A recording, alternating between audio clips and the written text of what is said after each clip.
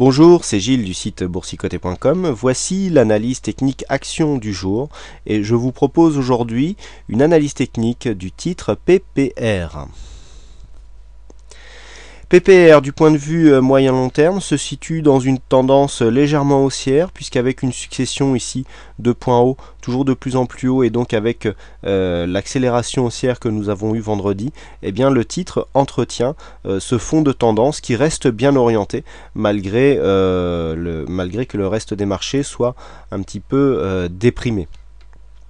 du point de vue de la situation technique actuelle. Nous avons donc un RSI qui nous indique un surachat qui a été, euh, qui a été consolidé ici sur cette phase, hein, puisque après avoir marqué une forte phase dynamique ici, euh, PPR, donc le titre est venu consolider jusque euh, sur le support ici des 130 euros.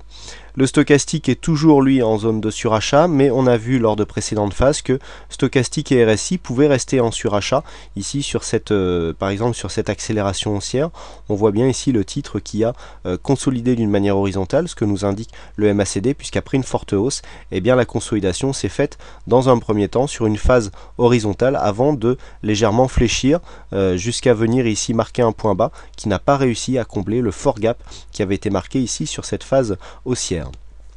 Le titre PPR est donc soutenu par une bonne dynamique. Le MACD nous informe que après avoir marqué donc une, forte phase haussière court terme, les cours ont consolidé. Nous voyons bien ici cette phase de consolidation, bien relayée ici par le MACD, avec un retournement qui se fait dans la partie supérieure du graphe. Donc ça c'est assez révélateur de la tendance qui est en train de se mettre en place, puisque euh, du point de vue des histogrammes du MACD, si les histogrammes sont toujours euh, ondulent comme ça euh, dans la partie supérieure du graphe, eh bien c'est euh, révélateur d'une tendance haussière relativement marquée. Et c'est ce que nous indique donc le MACD.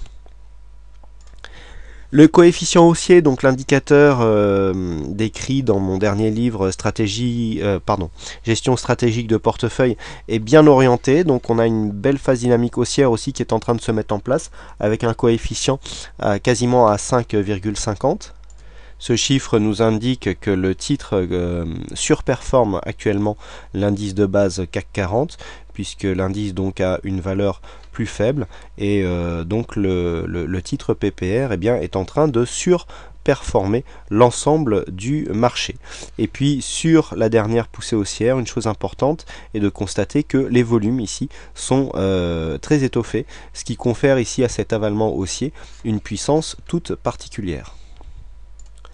Comme nous venons de le voir, donc le titre d'un point de vue moyen-long terme est plutôt euh, bien orienté. Maintenant, au niveau de la tendance court terme, ce que nous pouvons constater, c'est que lors de la première phase ici euh, de hausse qui a été relativement dynamique, ici ce qu'on peut, qualifier d'impulsion, eh bien donc cette phase s'est faite sur deux gaps successifs. Les deux gaps successifs ici ont provoqué une forte phase de hors-bol qui a été très légèrement consolidée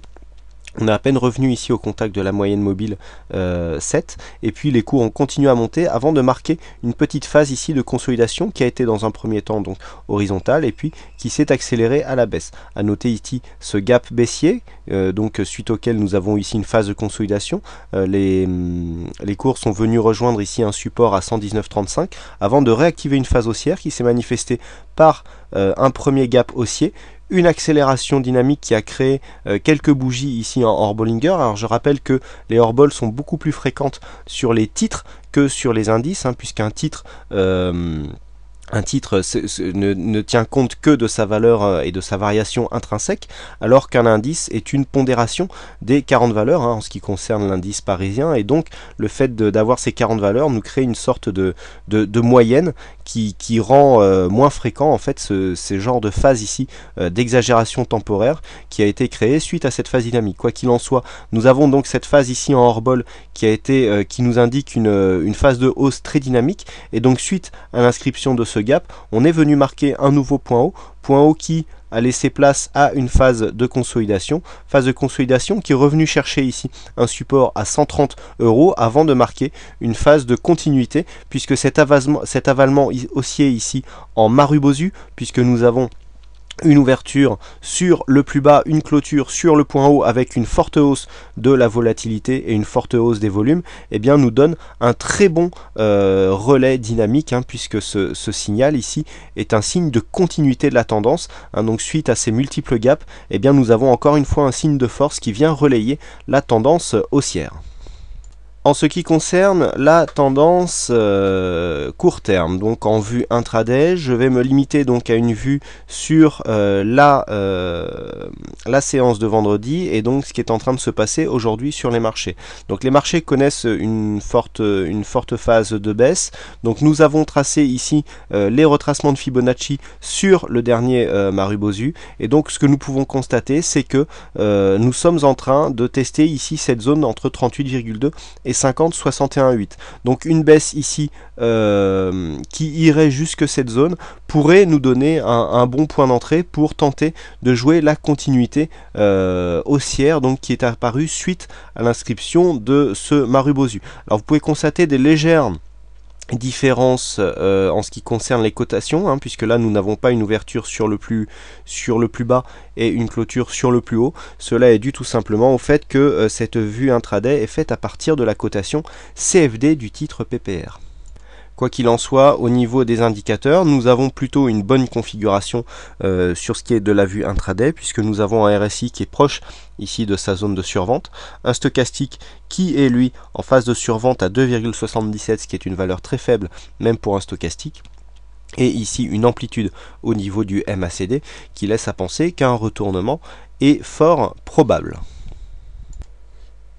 pour synthétiser donc tous ces éléments, euh, le la stratégie, l'approche la plus euh, probable sera donc de rentrer sur un signal haussier. Comme nous l'avons vu, l'accélération haussière de vendredi a laissé la place à une phase de consolidation temporaire. Donc une zone d'entrée ici située aux alentours des 134 euros euh, serait tout à fait indiquée pour jouer la continuité euh, du euh, signal haussier. Donc quoi qu'il en soit, les objectifs de cours sont assez élevés. On peut jouer très bien la continuité ici de ce mouvement qui est du mouvement qui est en train de se mettre en place, qui a été impulsé par deux euh, phases assez dynamiques, hein, donc qui, peuvent nous laisser penser que cette, cette tendance va continuer. la zone d'invalidation se situera ici en, en, en, cas, dans le cas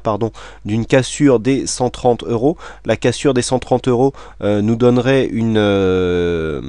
une sortie de la dynamique haussière qui a été créée suite à l'impulsion ici de cette forte phase et euh, donc nous donnerait euh, aurait pour, conséquence de nous faire rechercher un point de sortie pour, pour sortir donc de cette position puisque le scénario de base serait en phase d'invalidation. Donc pour récapituler, ici zone de point d'entrée aux alentours des 133,50, 134. Euh, jouer le relais possible qui sera confirmé par une cassure du plus haut de vendredi, à savoir les 137,25 qui peut euh, donner lieu ici à une phase de consolidation. Les plus, euh, téméraires joueront ici un contact avec la bolle supplémentaire, la bolle supérieure, pardon, pour venir euh, financer euh, la position. Par contre, une cassure ici des 130 euros nous donnerait un signal